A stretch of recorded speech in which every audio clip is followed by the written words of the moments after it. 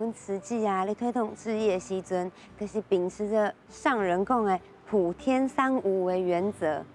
这普天三无的意思啊，就是讲哦，普天下没有我不爱的人，普天下没有我不信任的人，普天下没有我不原谅的人。你若是对慈济有兴趣哦，欢迎你随时来找我，我拢会当详细甲你介绍，互你了解。好啊，就是真的被何师姐真的是感动了。他除了叫我们一起做慈济，我记得他讲过一句话：“翁仔某感情更较好，哦，嘛需要哦落去沟通。”嘿，所以在何师姐身上有些，伊嘛教我讲爱塞奶啦，爱也像塞奶啦，哦啊，加上真的是走入慈济了，带慈济列车到去见到上人，上人一句话讲一句好话。嘛都爱好好啊讲。各位好，我是碧秀，欢迎您收看大爱会客室，为您推荐的好戏《真爱缘起》。我们说啊，在慈济的这些志工们啊，都希望可以广邀天下善事。从哪边开始邀请起呢？其实就是我们的左邻右舍了。我们来看看这三位法亲他们是如何牵起这份缘。首先来欢迎的是我们的何瑞珍师姐。主持人好，大家平安吉祥。继续欢迎的是郭浩峰师姐，主持人好，大家好，来欢迎郭凤妹师姐，主持人好，大家好。我们呢，其实弄多讲几条给啊哈，大概都是出门，尤其是这些妈妈们要出门采买啦，或者是有什么样子的一个休闲活动啦，都会遇到。你们两位据说是一起晨泳的伙伴。是先熟悉，还是因为去陈勇咱要讲到底附近？因为陈勇的关系，就认识了，然后就又认识以后，那何师姐说她住哪里，然后我就呃，就我们隔壁巷而已啊，所以就时常就就是来有来往这样子。那凤妹师姐是因为在菜市场，对不对？对。你安那是吹掉，我那是去那边采你。对，我那时候我们一整条巷子嘛，从巷头到巷尾。那我一看呢，哎，这对夫妻呢都笑口常开。本来我是没有跟他们买东西，可是呢，我常常经过他们的店铺前面呢，我就觉得这对夫妻呢，他笑容非常的纯真，非常的可爱，所以我后来就渐渐跟他们买买东西了。对哦，那刚好做行李好笑型对不？就是就是会。招揽招人顾客上门，对不对？但是我觉得哈，当然这个姻缘起的时候，我们的何瑞芝师何瑞珍师姐不用说，因为在做好事，绝对不能少你们任何一个人，对不对？对。当时候这样子开始做会员，但是要进来到培训受证，您自己一路都是顺畅，有没有受到一些自己的挑战之类的？是很挑战，因为我那时候当时候小孩子还很小。那就想说，呃，何师姐一直鼓励我说：“哎，你出来收募款嘛，然后就好了，就募募看这样子，啊，就慢慢就进进入，然后越做就越认真哈。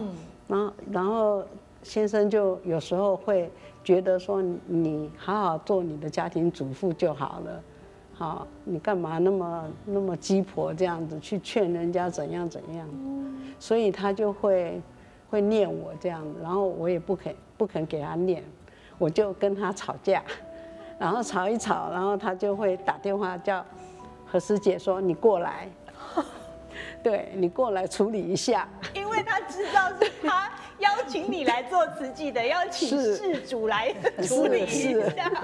何师姐她是很有智慧啊，她来到我家就是先先说我的不是。啊，你不应该。哎，你不应该怎么样怎么样，你应该要怎样怎样，就把先生先侍奉好，因为你已经很确定想要做的，不能因为先生的不高兴而中断，对不对？对。所以师姐念你几句，欢喜接受，是，他可以继续的往前走。是是。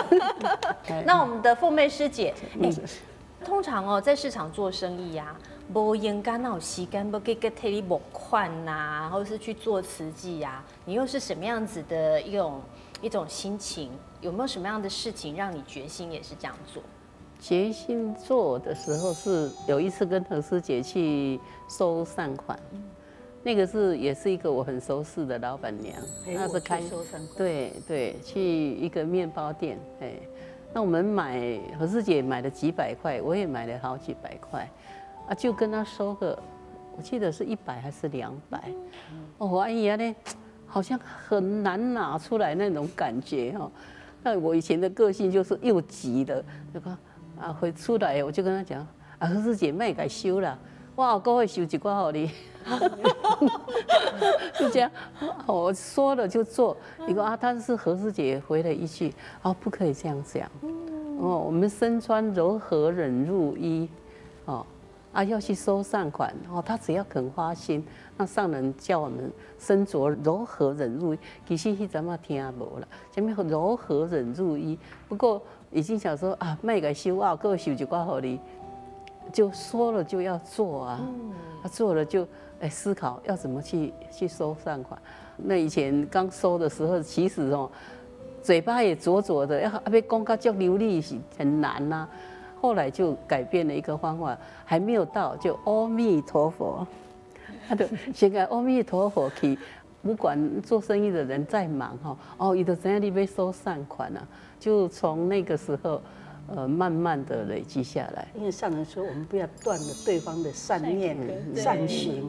你虽然是区区一百块、两百块，可是呢，他每个月能持续的有那个善念，说啊，我毕竟可以帮助人，其实最重要的出发点在这里。嗯，不然老实讲，我们也不说要放在我们口袋里呀。对，但是呢，也无意中启发他那样的一个哈善念。觉得他也要帮一些忙，帮实际的忙。对对，我因为我在做生意的时候也一直在讲是，因为有人来缴善款啊，那就讲啊，我要专程设定这个人讲，讲了老半天，主角没有没有缴汇款，边啊两三个听到那种缴汇款了，哦，那就会觉得说，哎，原来很多善心人士哎，只是我们没有真的开口讲而已，哦啊，就后来也就会改变说，哦。其实要保持平常心，嗯，哎，这很重要，哎，对对对，汇款，汇款，你那我们再跟人对一样，去善款，善款，对对对对，会员，对不对？对对所以，我我觉得这个部分其实蛮有趣的，就是以前我们都会觉得说啊，没关系啊，做好事啊，我的咖喱蒙之类，你要做就跟着做，但是做慈济。慈济人好像那个心情会不太一样，对不对？希望可以启动他那样子的一个善念，然后呢，他可以实际去做，因为其实福报都是回向给自己的嘛，哈。所以后来您这个呃，渐渐的进到慈济当中，您的先生除了在经济上面、在善款上面的支持。在行动上面有没有也特别改变一些些了？哎，就让我出来做慈济，嗯，因为我们活动很多，对。那当时候我们也正在盖医院，哈，啊，就是很需要那个，我们也时常带会员回去那个慈济列车嘛。那如果他不放我出来，我怎么做？我一定要就是让他高兴，嗯，我们才不会说我们在外面做的很欢喜，然后回家那个这样子也没有意义嘛，对不对？